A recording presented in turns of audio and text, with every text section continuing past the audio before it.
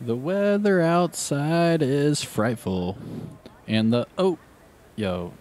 Side note though, for real. It's starting to clear up now, but these uh these dust storms, look at the sky, dude. It's orange. These dust storms are sick. I don't know if there's ever dust storms in Washington D.C., but uh, in this game, they're pretty sick. Oh, look, and now it's cleared up. Look at that. Oh, that was cool. That was like the end of the uh, dust storm. That was pretty cool. All right. Anyways, let's uh, let's get down to brass tacks, shall we? Let's uh, go over here and get the damn thing going. All right. Second build video of the day. You guys hyped? I am. Here we go.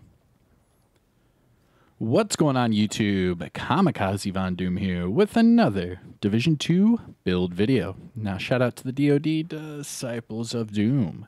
And in today's build video, I am bringing back the Lady Death. That's right, the Lady Death returns and uh, it's a lot of fun.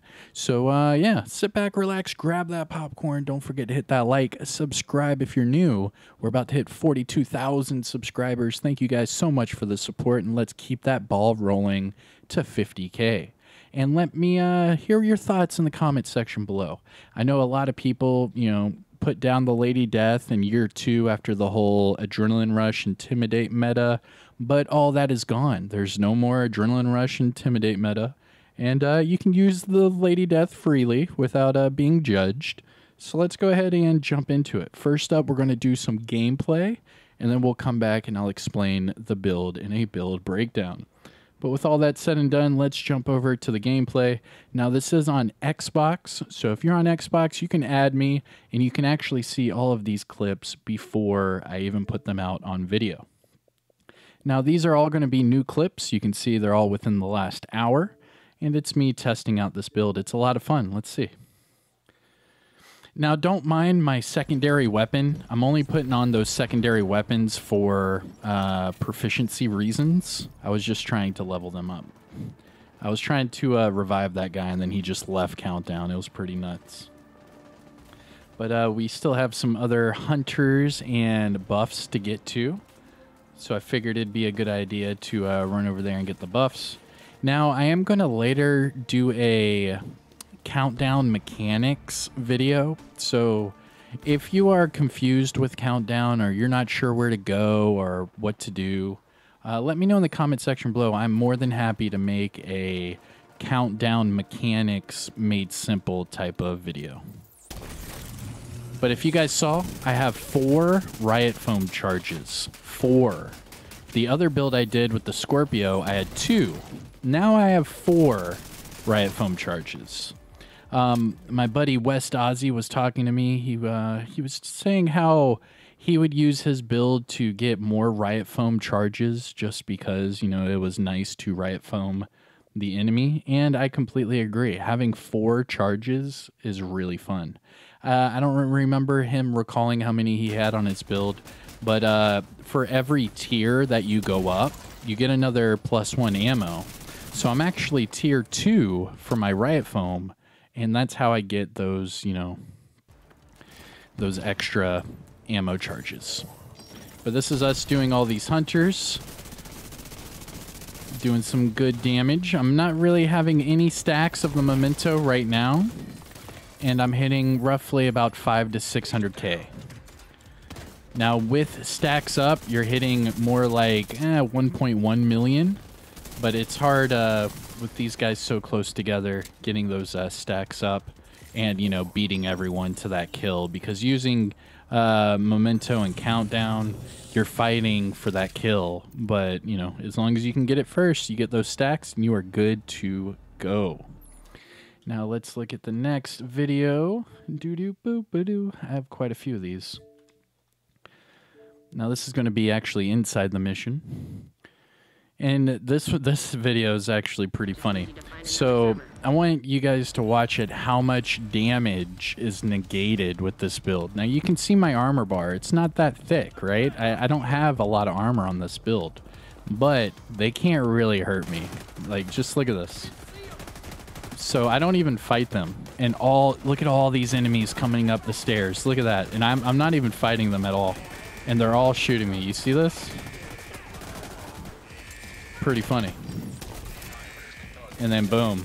And you can see right there I'm hitting for just under 1.1 million. And I'm just under max stacks with the memento. But uh, I thought that was pretty funny. They're just shooting me. Nothing's really happening. I, I have pretty low armor, but I'm still able to uh, hold my own. The survivability of this build is pretty damn high. I love it. It's pretty damn nice. All right, so I think that was the end of clip three. Yep, it sure was. Okay. Let's go over to the next clip. And again, you guys can watch all of these on uh, on Xbox before I do any of these. Okay, so the next clip, we have three more. Oh yeah, more hunters. So what I did is I went ahead and recorded me doing two full runs with this build with random people and just to see, you know, how it fared because I figured if I ran this with a full DoD crew, obviously it'd be a little biased because then I'd have people on my clan doing buffs and support builds and healer builds and whatever, helping each other out because of team synergy. Where in a random matchmate group, you don't have that. You don't have that, you know, organic synergy. You you have whatever people are running around with. But you can see I'm running through all of these enemies with no armor, and I'm not dying. You can see that uh, I'm having explosions pop off. I'm getting shot left and right, but I'm not dying. I'm not losing all of my armor. And that's really good when you're going against all of these elites. Oh, my entire team went down. Oh, that's right. I forgot about this. Oh, and then I go down. Um, the hunters right here, they hacked all of the skills and it took out my entire team. So then when I turned around to help them, uh, all of their hacked skills started shooting me, and then I'm dead. And then that was the end of that game. So then I did one more countdown game with another squad, and here are the two last clips, and then we'll get into the build breakdown.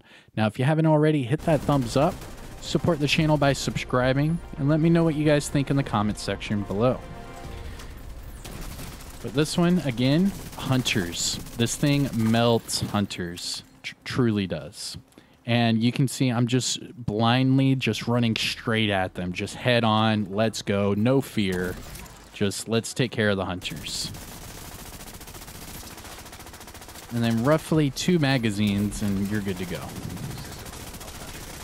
Boom, and he's dead. And then on to the next one. I get three hunter kills in this video. That's pretty sick. Oh, now, the weird part right there is my Unbreakable didn't proc, and it doesn't show it on a cooldown, so I think that was kind of like a bug, because my Unbreakable should have proc there, and it didn't. I was kind of like worried. I was like, oh man, he's, he's going to kill me. But he doesn't, obviously. And then, uh, yeah, on to the last clip, and then we are done. Just showing you how good this build reacts and everything in a natural setting. And this is going to be some more hunters. This one is uh, actually towards... Oh, this this is an epic hunter fight. So watch this hunter fight. This is epic, dude.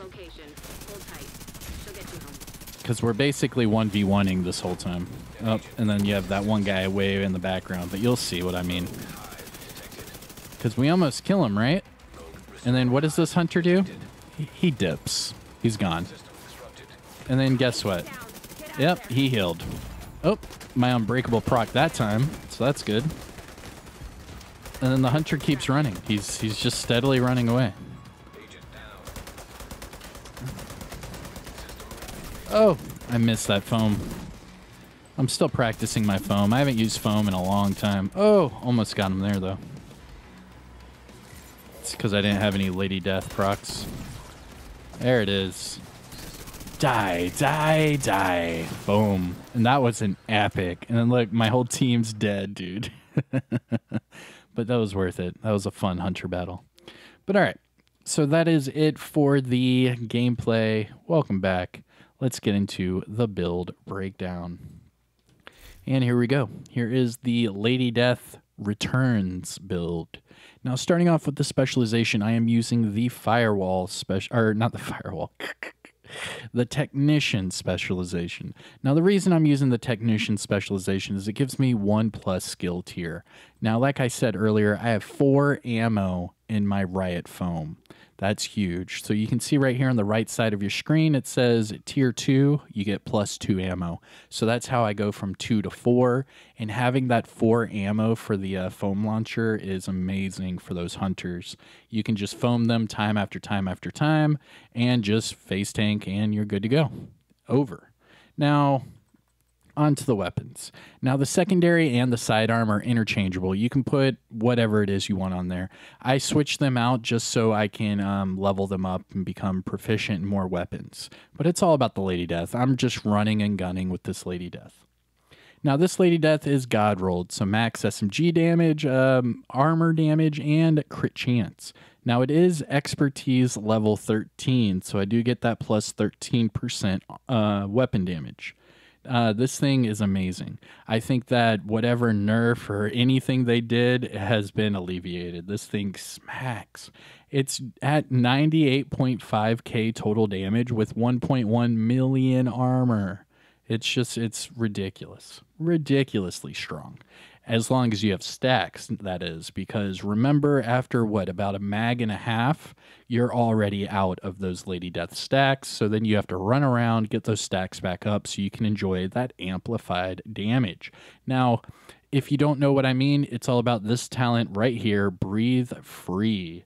So when moving, you gain four stacks per second. However, if you are running, you get eight stacks per second, total of 32. Now, each of those stacks contain 75% amplified damage. Now, if you get a kill, it ups your movement speed by 20 percent and that is huge. A lot of people use this weapon for speed runs and uh and league events and what have you and it's because as soon as you get that kill you get that movement speed and it really does help you out. Uh, it's an amazing weapon. I'm glad to be using it again and then just to fast forward, I'll show you really quick. For the Lady Death, I'm at 57 chance, 110 crit damage. Okay, now let's do a deep dive into the build. I have 1.1 million armor, and that's because I have a blue core attribute on my mask and my backpack. But remember, my backpack gives me three different core attributes.